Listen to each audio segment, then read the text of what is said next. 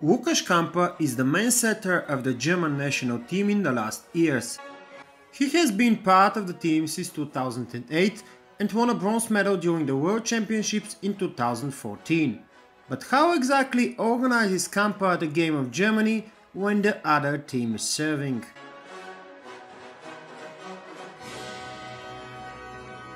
With a good or perfect reception, when calling the middle close to him in front, Kampa plays a lot with the middle, pipe, or in position 4.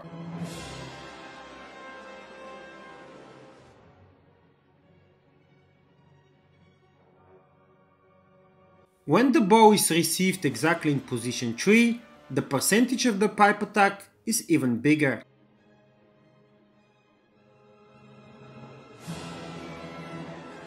Kampa doesn't call the middle behind his back. With a perfect reception and a middle at a distance, Kampa plays with him or behind.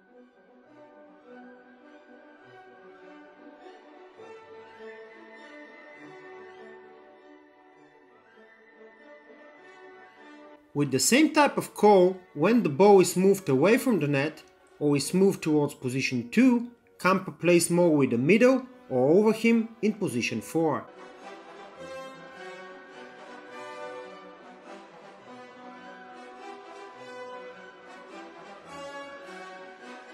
With a reception at the third meter, Kampa sets at the ends of the net and rarely uses the middle.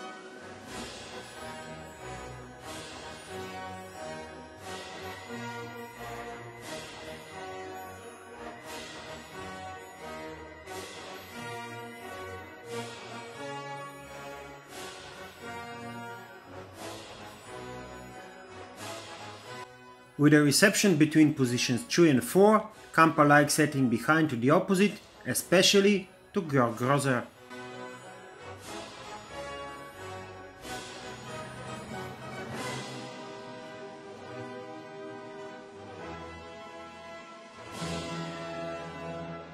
When the ball is received towards position 2 and the middle is close, Kampa plays in position 4 and very rarely uses the middle. In rotation 1, when calling the middle close, Kampa likes playing a shorter ball with Grozer in position 4. After a mistake, Kampa doesn't repeat the set to the same spiker.